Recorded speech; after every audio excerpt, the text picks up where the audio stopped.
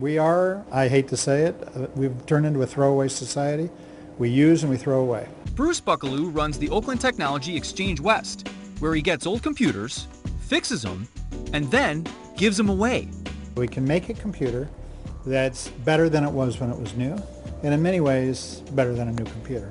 So really, OTX West is doing two things, cutting down on e-waste if you reuse a computer to solve that same set of problems, you save the environment $670 worth of environmental damage for one computer. And bridging the digital divide. Which in my view is really the one of the main dividers in our country right now.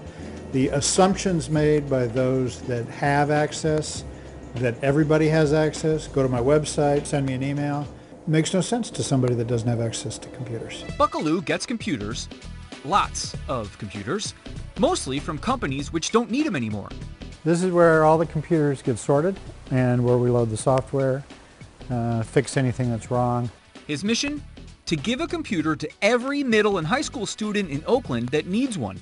How many computers would you say you've given away since you started doing this? Um, about 25,000, right in that range. That's a lot. That's a lot. Was that more than you thought you'd be well, giving I away? started? Yeah. you got to be kidding, right? After retiring from IBM, Buckelew started lending his tech expertise to high schools. I was really struck by the lack of technology in the schools. Uh, unbelievable. Uh, I, I was in a classroom where they were teaching keyboarding on broken typewriters, I swear. And OTX West was born. Today, if a student wants a computer, they and a parent first attend a class to learn the basics and get a voucher. They come through on distribution day and they shop. So they have their voucher and they can pick their keyboard, they pick their mouse, they pick their computer and they pick their monitor. They pick what they like and out the door they go. And it's not just for kids.